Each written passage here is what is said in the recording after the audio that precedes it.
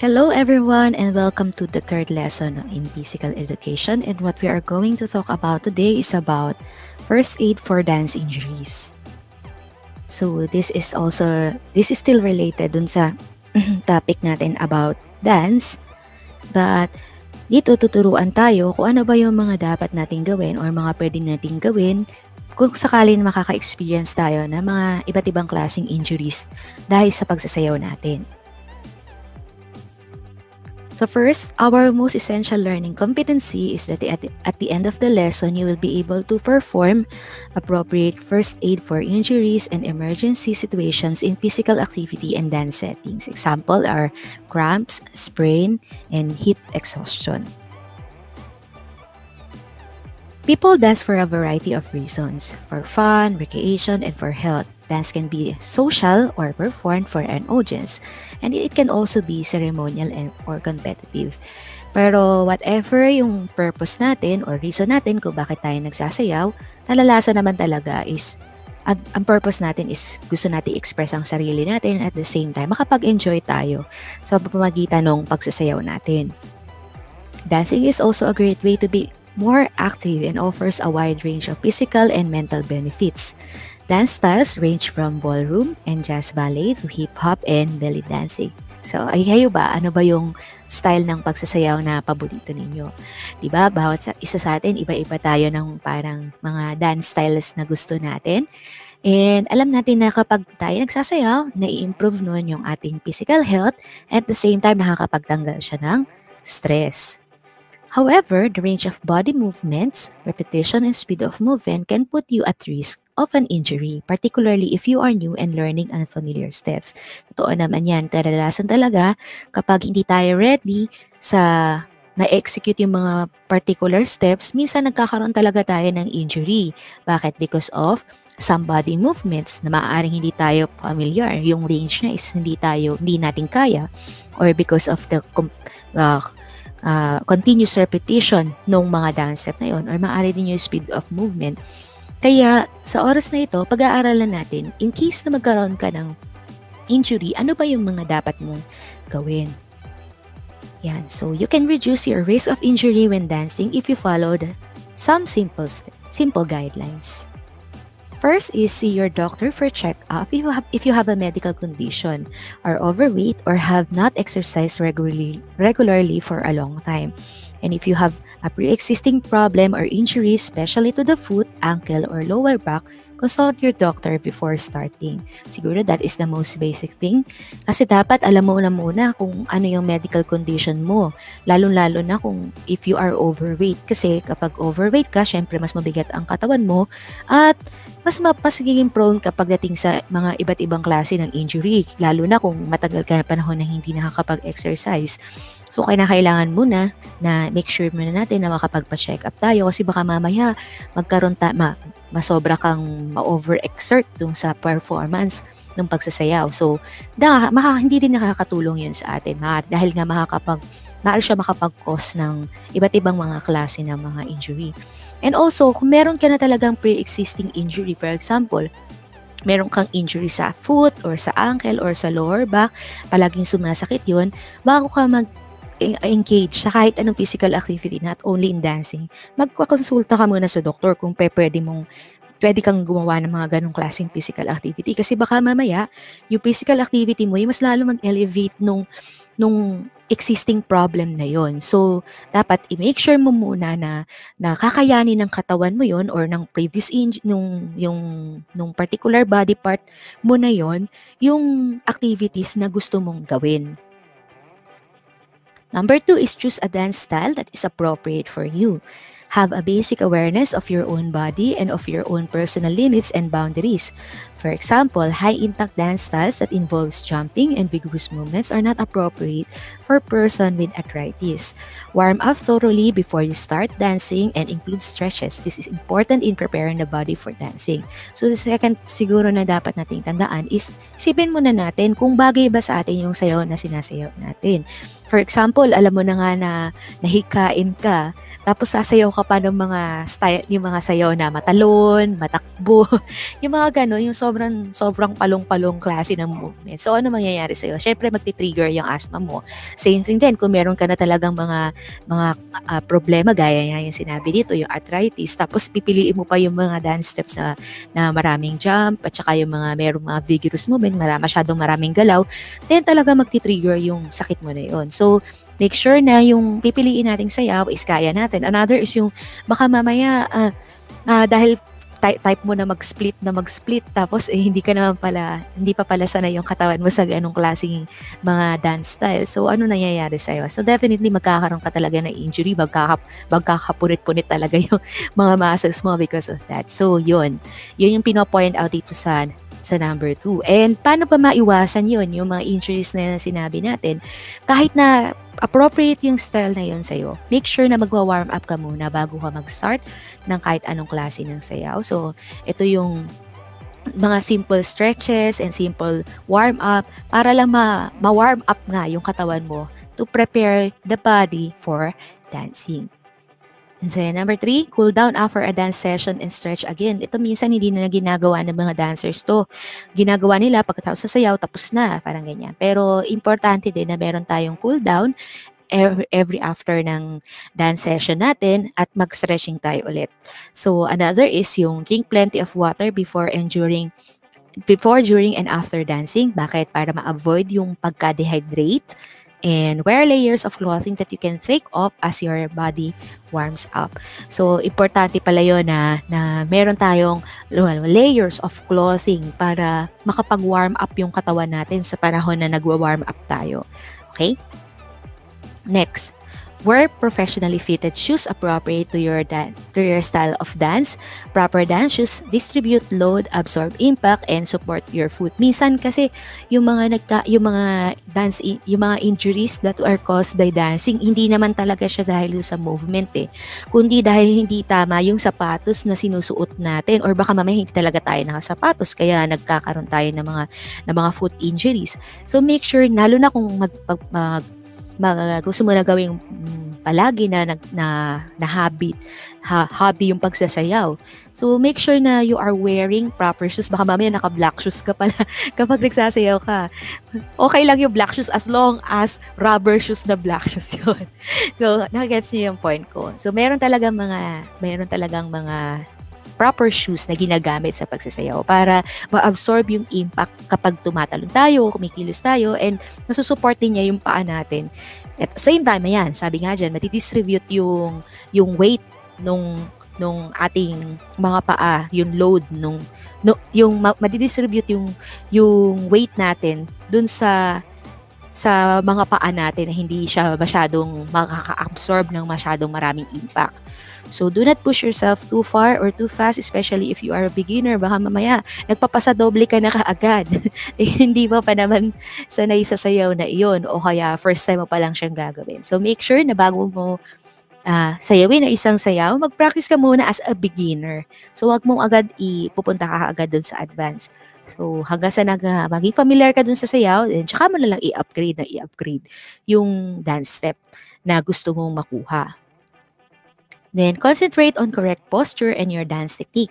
The way a dancer connects one movement to another must be technically correct so as not to twist the body or incorrectly or strain a muscle. So, make sure na tama yung ating posture, tama din yung countings natin, at tama din yung dance technique. Ano ibig sabihin nito? Kung sinasabi ng left foot, crossover, or right foot, crossover, tingnan natin mabuti kung tama ba yung paa na hinihahakbang natin. Bakit? Kasi kapag halimbawa mali yung, yung movement or yung yung step na ginawa natin, maaari nga talaga makapag-cause yun ng injury. So, dahil bakit nagkapag-cause ng injury? Kasi namali yung twist ng katawan mo or nagkaroon ng incorrect position yung katawan mo. So, make sure na kapag mag-aaral tayo ng sayaw, tama talaga yung dance steps na ginagawa natin to avoid injuries. Talk with your dance instructor if you have a problem or injury. They may be able to modify the move and teach you a variation to reduce the risk factors. So, ganun din kapag halimbawa, kung meron naman talaga kayo nagtuturo sa inyo ng dance, ng, ng, ng mga choreography, kung sa palagay nyo nahihirapan kayong gawin yon at nasasaktan na yung katawan ninyo, na possible na makapag-cause siya ng ng problema diyan sa sa paa ninyo o sa sa body part sa anumang body parts niyo then ipakiusap niyo kung maaaring i-modify yung move. Kasi in the end uh, kaya tayo nag, nag nagsasayaw kasi gusto natin maging physically fit tayo. Eh kung mapo-compromise naman yung yung katawan natin just because of the choreography then yun, ano naman ang naitulong nun sa atin. So nakakasama pa siya. Kaya as much as possible kung lalo na kung nagsasayaw na talaga kayo maiusap ninyo kung pwedeng i-modify yung certain moves kung kailangan kang tumambling at bababago ka doon so ba- ipamotivate mo yun nagets yung, pinopoint ko so as much as possible, unahin muna natin yung mabawasan yung risk factors pag nagsasayaw tayo. Kaysa dun sa kung gaano kaganda yung steps natin. Kasi yung safe, lagi nga natin sinasabi, safety first. Next is sit down and watch. Sometimes you can learn more from watching than doing something for the first time. Lalo na kung halimbawa, yun na nga, kung unang beses mo palang sasayawin yung isang sayaw, wag ka agad gumo, tumalon dun sa i-execute mo na kaagad. So, make sure na panoorin mo na muna siya, i-internalize mo muna, observe mo muna paano siya ina-execute. I-process mo muna sa isip mo ano yung first move na gagawin mo. Kung left left foot ba yung una mo ihahakbang or right foot? Ano ba yung mga yung mga certain details dun sa dance step na maaari mong makatch up para kapag na-try mo na siyang sabayan, mas magiging madali na yun sa'yo. Kasi mas mahirap yung kinokopya-kopya mo siya tapos hindi ka pa masyadong familiar sa mga pinapanood mo. So, mas nakakaroon ng risk sa atin na magkaroon tayo ng injury sa ganong klase paraan. So, um, as much as possible, sit down and watch muna. And make sure you take sufficient rest between dance sessions, especially if you are new to dancing or are not very fit. This will help minimize muscle soreness and stiffness. So isa pa yan na siguraduhin natin na nakakapagpahinga at meron tayong sapat na pahinga kapag meron kapag nag-aaral tayo ng mga sayaw. Kasi syempre kapag ikaw ay pagod, mas mataas yung tendency na magkaroon ka ng injury kasi yung katawan mo na yung kusang bumibigay. Kaya make sure na bago tayo mag-go into another session para pag-aralan yung panibagong step, is nakapagpahinga muna tayo ng maayos para hindi tayo makaranas ng mga iba't ibang mga injuries. So, again, let's recap. Ano ba yung ibig sabihin ng first aid? Kasi kanina pa natin to binabanggit. Sabi dito, first aid is the immediate and temporary care given to a person who has been injured or suddenly taken ill. So, make note of the words immediate, ibig sabihin mabilisan, and temporary, ibig sabihin pan, uh, pansamantala lamang. So, yung dalawang salita na yan, yung immediate and temporary, parehas yung importante. Bakit? Kasi maaaring magkaro- kapag hindi ka agad nakapag-respond or hindi ka agad nakapag-take ng, ng first aid sa isang tao, maaaring lumala yung kalagayan niya. At the same time, kapag, hin- kapag inisip mo naman na permanent na yung ginigay mong first aid, maaaring makasama din naman yun dun sa pasyente. Kaya dapat natin tatandaan na yung first aid, dapat agad siyang ine-execute or dapat agad siyang ibinibigay sa pasyente at the same time, isipin natin na pansamantala lang yun kundi kinakailangan pa rin niya ng medical attention. So it includes self-help and home care if medical assistance is not available or delayed. Buhay, halimbawa nga yan, nagsasayaw ka tapos bigla ka nagkaroon ng sprain.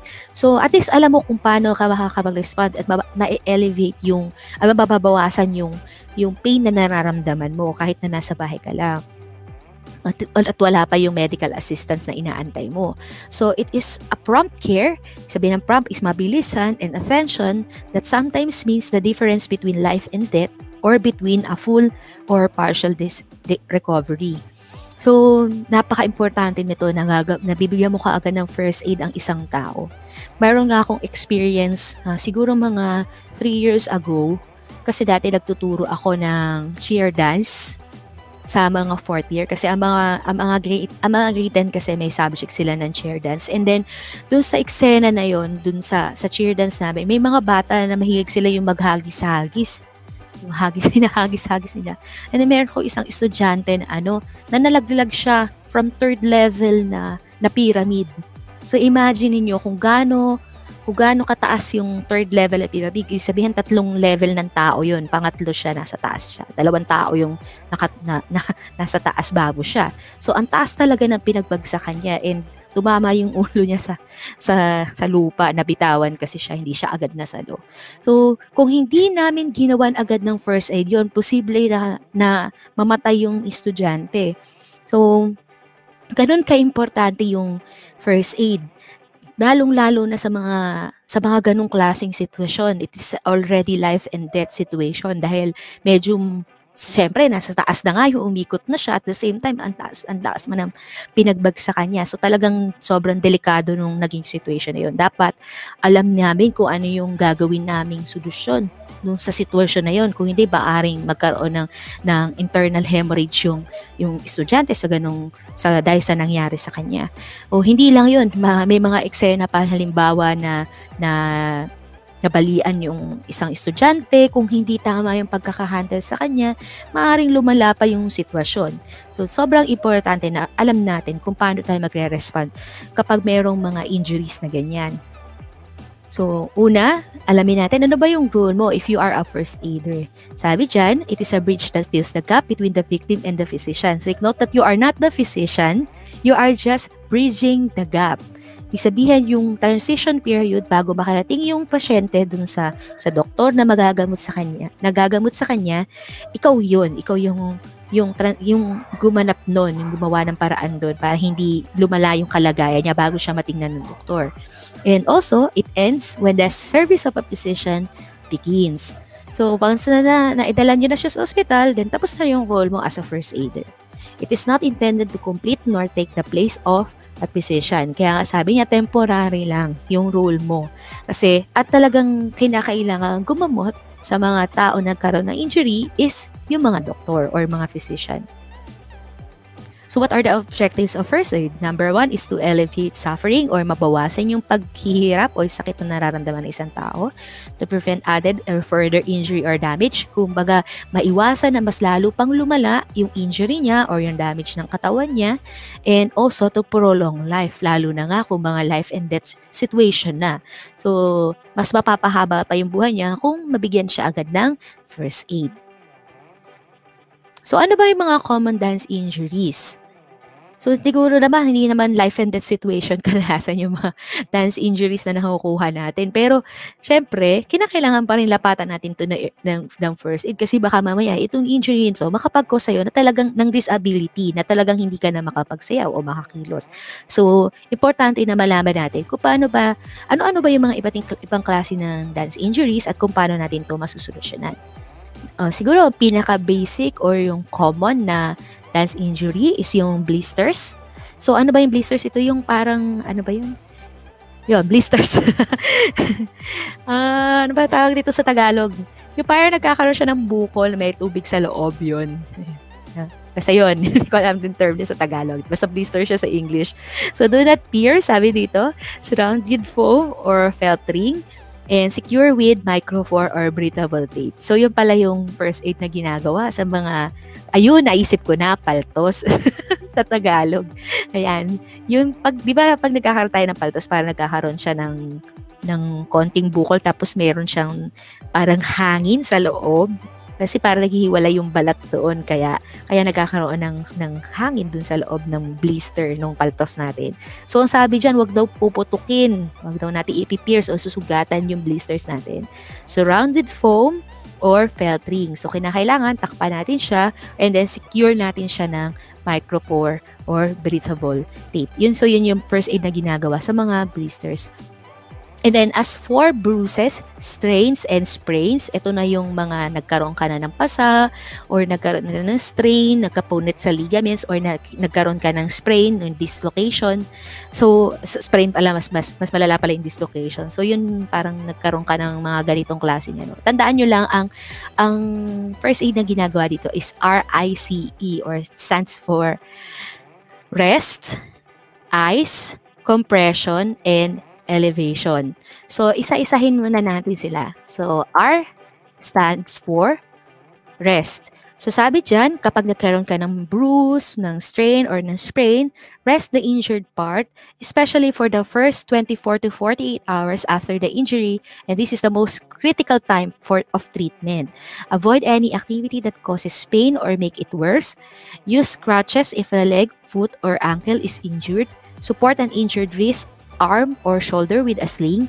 Tape an injured toe or finger to its healthy neighbor. So, as much as possible, wag ka na munang kikilo sa loob ng 24 hanggang uh, ah, 48 hours para mas para talagang hindi na lumala yung yung injury, yung sprain mo.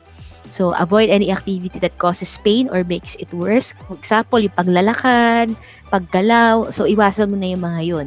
And then, as much as possible, lagyan natin ng sling kapag yung uh, na-injured is yung kamay o yung arm or yung shoulder or crutches kapag yung paa natin ang nagkaroon ng injury.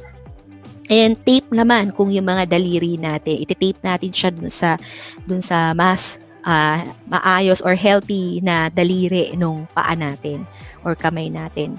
So ayan yung mga uh, basics basic uh, first aid na pwede nating gawin under rest. Next is yung eyes. Alam niyo yung ice, napakaganda niya, anti-inflammatory. Ibig sabihin, nagre-reduce siya ng mga pamamaga. And apply an ice pack or cold compress for 10 to 15 minutes as soon as possible after the injury. So example, na naramdaman mo natatapilo ka na. So at nakita naramdaman mo na sumakit na agad yung paa mo because of sa pagkakatapilok mo na yon ang ang immediate dapat na gawin is maglagay ka ng ice pack or cold compress for 10 to 15 minutes dun sa dun sa lugar na kung saan nagkaroon ka ng injury.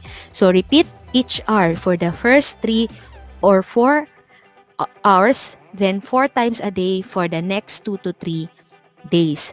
So tandaan niyo to ha, ito yung every hour, every hour meron ka dapat na 3 to 4 times na na magkakaroon ka na, maglalagay ka ng cold compress or ice pack doon sa injury mo na yon And then, four times a day for the next two to three days. So, nakita nyo, ang tagal, for the first 3 or 4 hours, so ang daming beses na nagagawin mo yung 10 to 15 minutes na i-cold compress mo siya. And then, sa mga susunod na, na mga araw, 4 times a day mo na lang siya gagawin. So, yun ay para mabawasan yung pamamaga nung na-sprain na paa or ng na body part. And then next is yung compression. So, ibig sabihin ng compression is that it reduces swelling, pag pamamaga also. It use, use elastic band bandages for at least 2 days. Check if the bandage is snug but not too tight. So, take the bandage off at night. So, yun yun. Yung, paglala yung ibig sabihin ng compression is paglalagay ka ng bandage dun sa part na nagkaroon ng injury. So make sure na matibay siya pero hindi siya sobrang higpit para hindi ka naman mawalan ng dugo dun sa part na yon. And then all, always remember na yung bandage is dapat tinatanggal natin siya kapag gabi. And lastly is elevation. So drain fluids from injured tissues. Elevate the injury the injured area whenever you are sitting or lying down. So try to keep the injured area at or above the level of the heart. So kapag yung yung injury natin ay medyo malala, make sure na i-elevate natin siya. For example, nakaupo tayo. So medyo itataas natin siya. So, ganun yung dapat nating gawin para mabawasan yung pain na nararamdaman natin. Bakit? Kasi, syempre, kapag halimbawa, naka, ano ka, naka, na, nakababa lang siya, ang tendency is talagang lalo siyang sasakit kasi nag-accumulate siya ng weight. So, that is the reason why kinakailangan natin siyang i-elevate. Para at the same time, nade-drain yung mga fluids na yon papunta dun sa injured na tissue. So, mababawasan yung pamamaga niya. So, yun yung purpose ng elevation. So, as for burns and grazes, so as soon as possible, hold burnt area under cold running water for up to 10 minutes. So halimbawa, meron tayong choreography or nagkaroon tayo ng steps na nagkaroon tayo ng gasgas o kaya pagka o kaya burn. So how would you uh, give first aid sa ganong klase situation? So as soon as possible, hold burnt area under cold running water for up to 20 minutes. So, hayaan mo na muna na, na basain mo na muna siya ng cold running water. Ibig sabihin, padaanan mo na muna siya sa, sa malamig na tubig, sa gripo o ganyan, for, 20, for up to 20 minutes. And then after that, apply sterile non-sticking dressing. Ano ibig sabihin nung, nung sterile? Ibig sabihin yan is malinis and non-stick dressing, ibig sabihin yung hindi dumidikit. So, for example, aluminum foil, plastic wrap, or wet clean dressing. So, hindi pa pwede agad paglagay niya ng, pap, ng, ng, ng panyo o ano pa man kasi tumidikit yon So, iwasan natin yung mga ganon. So, yan yung mga suggestion na pwede natin ilay aluminum foil or plastic wrap kasi para hindi nga siya dumikit dun sa, na, dun sa nasugatan. So, if the bird is to the eye, flash eye with water for 20 minutes. So, ganun din. So, same process din. For 20 minutes, dapat na, na, na pinapadaanan siya sa running water. And do not apply lotions, ointment, of fat to burns. Bakit? Kasi mas lalong mag, lalo siyang mabamaga kapag ginawa natin yun kasi natatakpan nung, nung mga oil na yon or ng mga lotion na yon yung burn. So, mas lalo siyang magiging masakit. So, for corns and sore toes, ano sabihin yung mga, mga masasakit na mga toe, yung mga, ano ba yung toe sa Tagalog? hirap na hirap mag Tagalog. Eh. Ayan. So, surround the ring of foam or felt padding and secure with microfour tape. In case na nagkaroon ng problema dun sa, ano ba yung tone? Hilalaki sa paa? Yun. So, ganun ang pwede nyo gawin. Ilagyan mo siya ng ring of foam and or felt felt padding, merong mga, yung mga materials na yan ay ginagamit talaga yan sa pag-first aid. And then, secure it with a micropore tape, yung ginagamit din yun sa pag-first aid. So, definitely, para mo lang siyang babalutan para hindi na siya sumakit. Pero, eto naman, what if nagkaroon ng dislocation?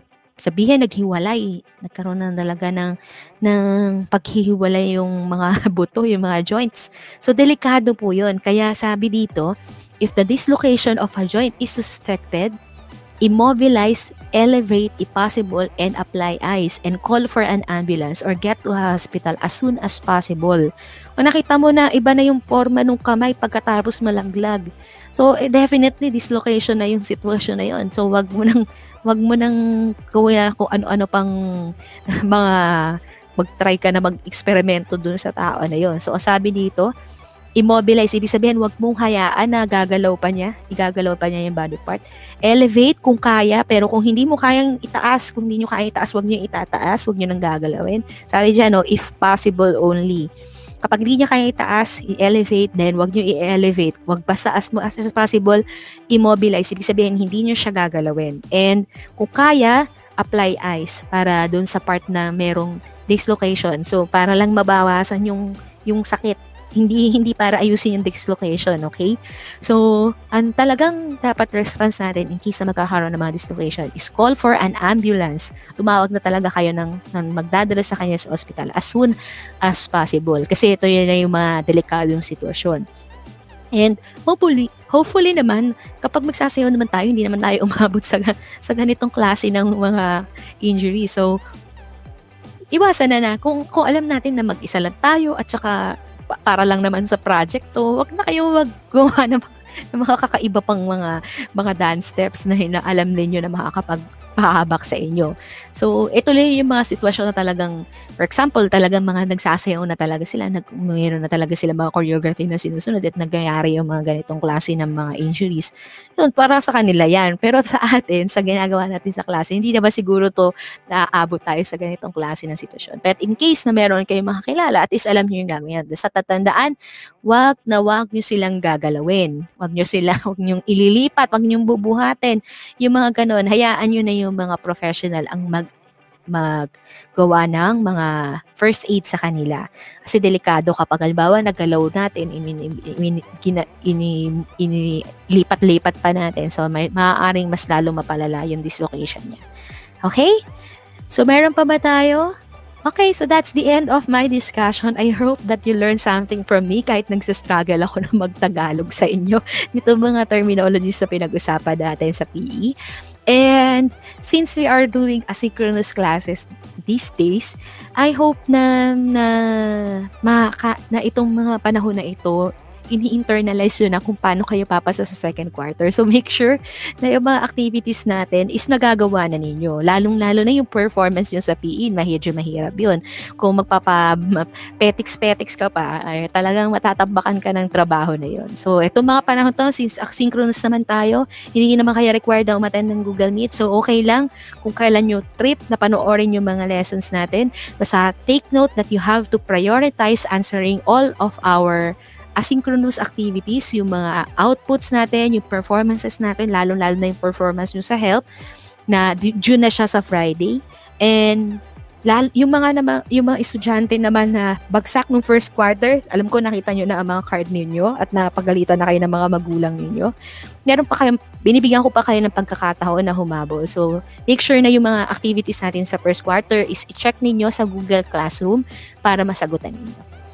So, that's it for today. Thank you very much for taking an effort na makinig sa lesson ko. At I'll see you again next time. Goodbye!